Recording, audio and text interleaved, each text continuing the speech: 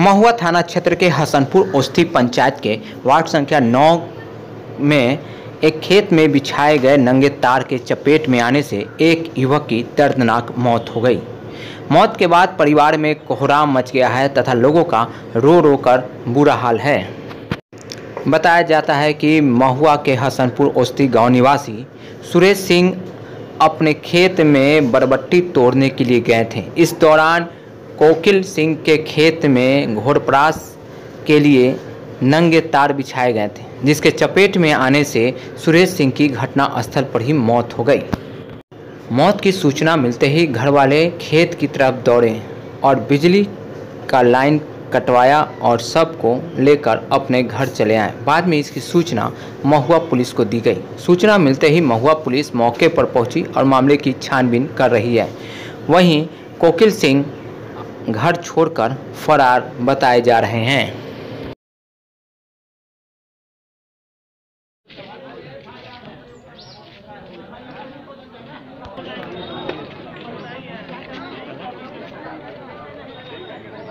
सोते हुए थे आ, सोते हुए थे तो हमारा भतीजी जो है सो वहाँ से भाई दोनों आया खेत में।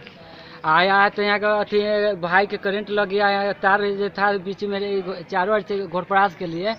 टाने हुए था यहाँ अथी तार तो यहाँ का उसमें इलेक्ट्रिक के करेंट जो है, से कोकी सिंह जो है ना, वो अपना मकई में चारों ओर घेरा किए हुआ है, ये तार ले करके ऊपर वाला, केबल वाला, आ ले करके चारों ओर से लंगा तार टान दिया।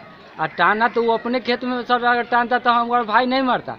लेकिन हमको यहाँ के भाई के मरने के कारण एक गो है कि यहाँ के खेत में अपना बीच खेत में वो इसको तार में टान दिया। गाँव वाला जो था ना तो यहाँ का उसको हम आवाज़ दिए कि दौड़े रहे हमारा भाई मर गया करंट लग गया रे बचाओ रहे हमको भाई को बचा दो। तो गाँव वाला से दौड़ा तो यहाँ करंट था तो हम ही रोक दिया। तो इसके बाद यहाँ का लाइन जो गाँव वाला बिगड़ा है कि जल्दी से ना लाइन का नहीं काटेगा तो इसका जवाब देना होगा। तो अब जाके लाइन काटा काटा काटा तब तक हमारा भाई मर गया था। मेरे पंचायत हसनपुर वार्ड नंबर नौ में एक लड़का था जो सब्ज़ी उब्जी के कारोबार कर रहा था, सब्ज़ी ला कर बेचता था।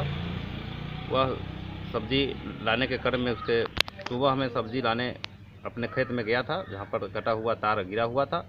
उससे करंट लग करके उसको घटना पर ही मौत हो गया। गरीब परिवार से है, उसे छोटे छोटे तीन चार लड़का लड़की है।